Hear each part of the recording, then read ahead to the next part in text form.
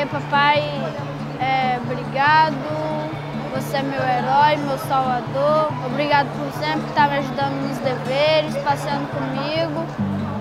Obrigado por tudo. Feliz Dia dos Pais.